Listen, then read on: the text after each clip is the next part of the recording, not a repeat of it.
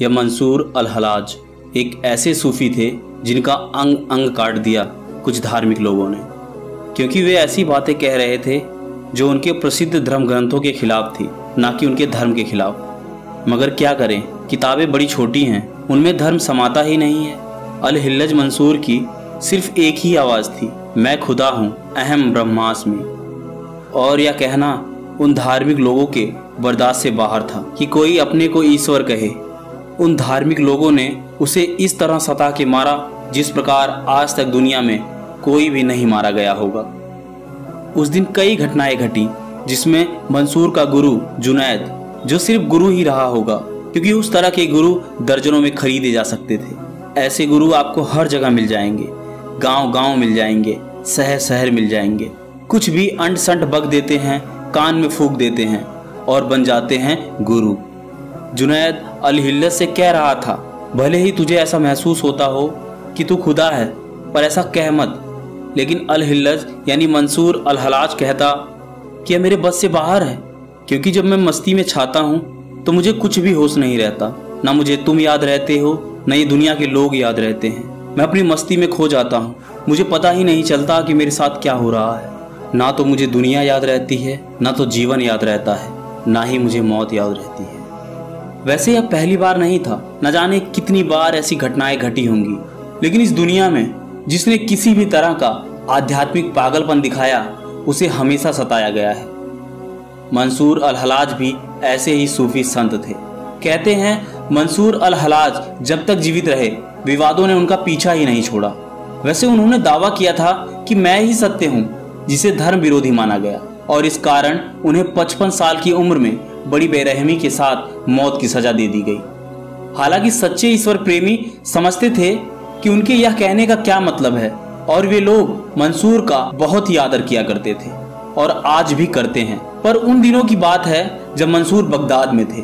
अपने सूफी गुरु जुनैद से उन्होंने कई विवादास्पद सवाल किए, लेकिन जवाब देने के बजाय जुनैद ने कहा, एक समय ऐसा आएगा जब लकड़ी के एक टुकड़े पर तुम लाल धब्बा लगाओगे।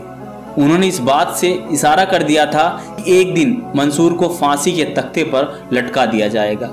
वैसे इन बातों का मंसूर पर कोई असर नहीं होता था। मंसूर ने जवाब दिया, जब ऐसा होगा तो आपको अपना सूफी चोला उतार कर एक धार्मिक विद्वान का चोला धारण करना होगा। यह भविष्यवाणी तब सच हुई, जब मंसूर की मौत का हुक्मनामा तैयार किया गया और जुनैद से उस पर दस्तखत करने को कहा गया। हालाँकि जुनैद दस्तखत नहीं करना चाहते थे। लेकिन बगदाद के खलीफा इस बात पर अड़ गए कि जुनैद को दस्तखत करने ही होंगे। खैर, जुनैद ने अपना सूफी चोला उतार दिया और एक धार्मिक विद्वान की तरह पगड़ी और अंगरखा पहनकर इस्लामिक अकादमी पहुँचे। वहाँ उन्होंने यह कहते हुए मौत के फरमान पर दस्तखत किए कि हम मंसूर हलाज के बारे में फैसला सिर्फ़ बाहरी सत्य के आधार पर कर रहे हैं। जहाँ तक भीतरी सत्य की बात है तो इसे सिर्फ़ खुदा ही जानता है, क्योंकि उस समय हर व्यक्ति जानता था कि मंसूर जो कह रहा है, वह सत्य है। और मंसूर ने जो यह कहा कि वह ईश्वर है, वह खुदा है, यह भी सत्य है। जुनैद से मिलने के बाद अगले पाँच साल तक उन्होंने एक उच्च आध्यात्मिक अवस्था में मध्य एशिया और ईरान के कई इलाकों की यात्रा की। विद्वानों और आम लोगों दोनों ने ही उनकी शिक्षाओं और प्रवचन को हाथों हाथ लिया और उनकी भरपूर प्रशंसा की। अपनी तीखी परख के कारण वे हलाज यानी रहस्यों के उस्ताद के रूप में जाने गए। वे बसरा से मक्का तीर्थ यात्रा पर गए, लेकिन यहाँ उन पर जादूगर का ठप्पा लगा दिया गया। इसके बाद वह भारत और चीन की यात्रा पर निकल पड़े, जहाँ उन्हें एक प्रबुद्ध गुरु के रूप में पहचान मिली। उन्होंने मक्का की अपनी दूसरी हज यात्रा की और वहाँ दो साल तक रहे, लेकिन उनके आध्यात्मिक सीख बांटने के तरीकों में एक बड़ा बदलाव आ चुका था। उनकी शिक्षाएँ अब बहुत गुण हो चुकी थी और मैं ही सत्य हूँ का दावा करके वे लोगों को एक ऐसे सत्य की ओर आकर्षित करने लगे थे जो शायद कुछ लोग समझ नहीं सके। उनके द्वारा किए गए चमत्कारों के बारे में कई किस्से फैलने लगे। लोग उनके बारे में तरह तरह की राय रखने लगे। कहा जाता है कि मैं ही सत्य हूँ कि धर्म विरोधी दावे की वजह से उन्हें करीब 50 इस्लामिक शहरों से खदेड़ दिया गया। कहा जाता है कि मक्का की दूसरी हज यात्रा पर करीब चार हज़ार लोग मंसूर के साथ गए थे। पूरे एक साल तक वह काबा के सामने नंगे पैर और नंगे सिर ऐसे ही खड़े रहे।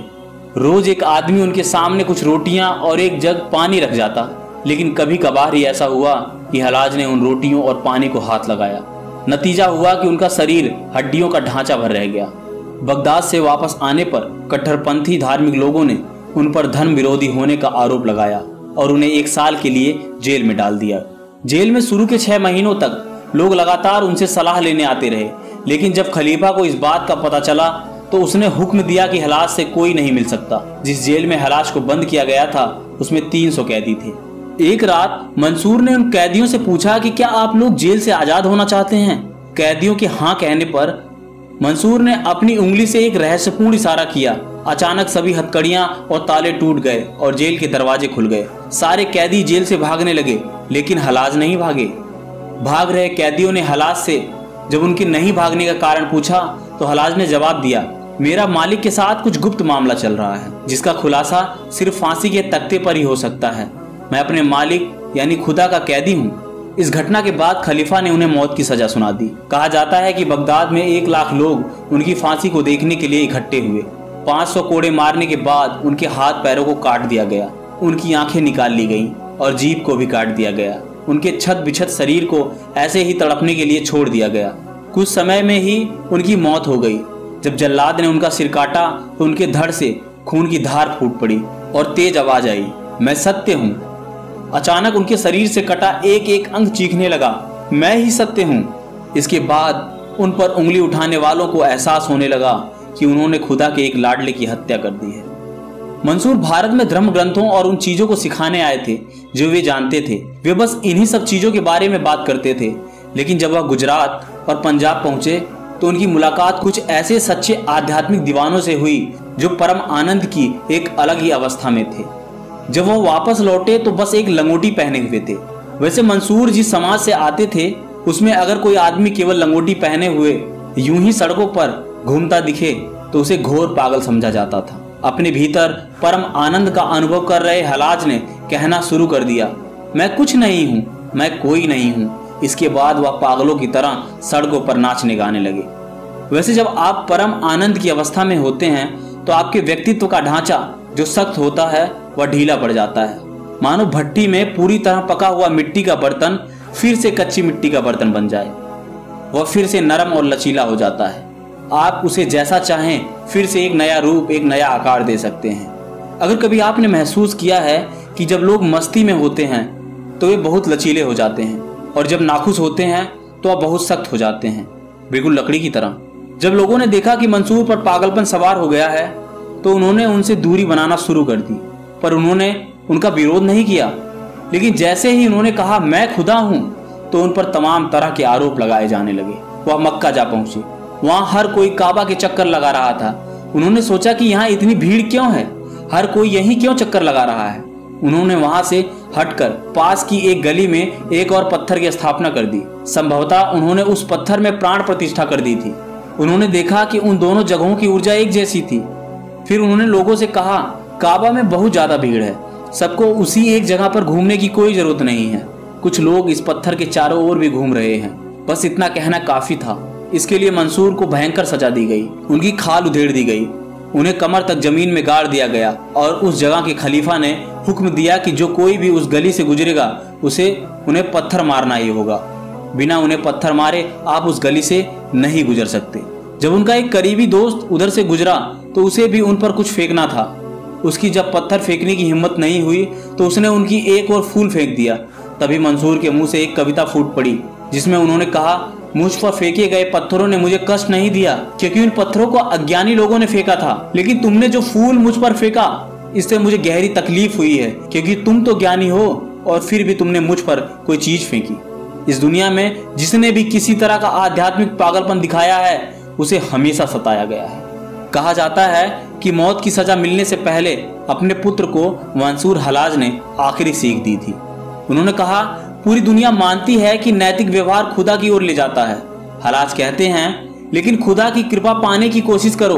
अगर तुम्हें उसकी कृपा का एक कण भी मिल गया तो वह देवताओं और इंसानों के तमाम भलाई के कामों से ज़्यादा कीमती है। 20 साल तक मंसूर हलाज, एक ही फटा चिथड़ा सूफी चोला पहने रहे।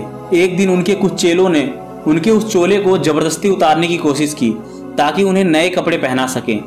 जब पुराने चोले को उतारा गया तो पता चला कि उसके भीतर एक बिच्छू ने अपना बिल बना लिया है। हलाज ने कहा, यह बिच्छू मेरा दोस्त है, जो पिछले 20 साल से मेरे कपड़ों में रह रहा है। उन्होंने अपने चेलों से जिद की कि तुरंत उनके पुराने चोले और उस बिच्छू को बिना नुकसान पहुँचाए उन पर वापस डाल दे। वैसे मंसूर हलाज को सिर्फ़ इसलिए मार दिया गया क्योंकि उन्होंने एक पत्थर में प्राण प्रतिष्ठा कर दी थी। इसलिए मार दिया गया कि उन्हें यह ज्ञान हो गया था कि वह ही सत्य है। उनका यह कहना कि अहम ब्रह्मास्मि यानी मैं ही खुदा हूँ, सिर्फ़ इसलिए उन धर्म विरोधियों ने उन्हें मार दिया। वैसे किसी के जाने के बाद ही उसकी कीमत का पता चलता है। तो मंसूर के जाने के बाद लोगों को यह एहसास हो गया कि मंसूर कोई भ्रम नहीं, बल्कि वास्तव में मंसूर खुदा थे।